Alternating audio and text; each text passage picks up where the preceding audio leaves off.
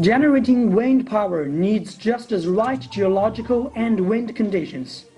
After careful investigation back in 2010, the State Power Investment Corporation decided to build a large wind power project in Xing'an County of Guangxi Zhuang Autonomous Region. The company's Guangxi general manager said they have just finished five new wind power plants this May, bringing total capacity to 400,000 kilowatts. Our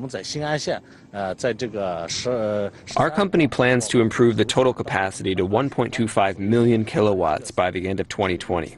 With good geological conditions, the county's power system also belongs to China's southern power grid, which means the wind power produced here will be directly sent to and consumed by people in the south. Earlier this year, TBEA, a major Chinese power transmission and transformation company, also got a piece of the pie signing a 300,000 kilowatt contract with the county government. Uh, we have set up wind testing towers in these mountains. After about a year's test, we will begin our massive construction of the windmills.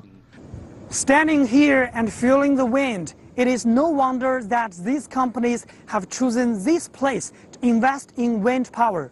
Building such a huge project has brought clean energy and thousands of job opportunities to local residents.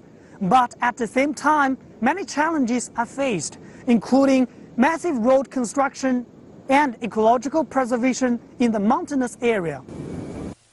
Huang Hongbin is a top leader of Xing'an County government. He said to tackle these challenges needs careful planning and joint coordination of all related aspects. We plan to make the wind power's total capacity reach 1.55 million kilowatts by 2025. To reach that goal, we need to work together with investors and other departments to further develop industry, tourism, agriculture, and ecological construction to solve the problems ahead. Xing'an is expected to become the biggest wind power base in South China in the years to come. China is also encouraging other areas to catch up as the country plans to spend 700 billion yuan or 102 billion US dollars on wind power by 2020, with the aim of sourcing 6% of the country's total energy needs from wind farms. Wu Lei, CGTN, Xing'an County, Guangxi Zhuang Autonomous Region.